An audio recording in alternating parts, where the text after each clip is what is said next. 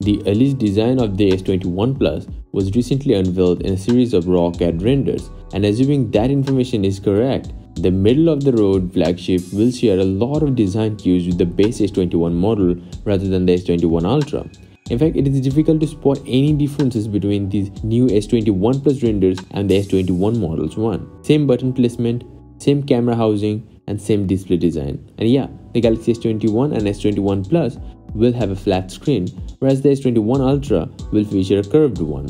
Samsung's 2020 flagship phone, mainly the Galaxy S20 Ultra and the Note 20 Ultra, have made a bold statement regarding their rear-facing cameras with periscope zoom and huge main sensors. If you are thinking Samsung in their 2020 models designing the camera modules to emphasize its significance, then you are right.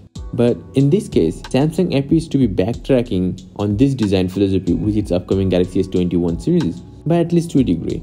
The camera bump is still there, but it is less obvious than before. Two of the camera housing edges are flush with the phone's frame to create a more seamless transition. This isn't an evolutionary design step, just a different design path. The minimal chin that Samsung will reportedly call blade bezel are clearly visible. The bottom bezel is actually saved up to the minimum and made it look uniform all around the frame. And this is a very beautiful phone. I'm just amazed by Samsung how they reduce the bezels over the time.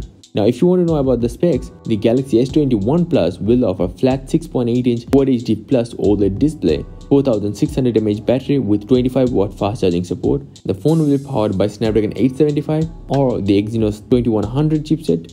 This phone will come with 128GB of base UFS 3.1 storage and it will support up to 16GB of LPDDR5 RAM. That's kind of crazy. Actually, I'm really impressed with the S21 Plus. Anyway, if you want to see more episodes like this, please hit the like button, please do subscribe or watch my other videos. Bye and take care.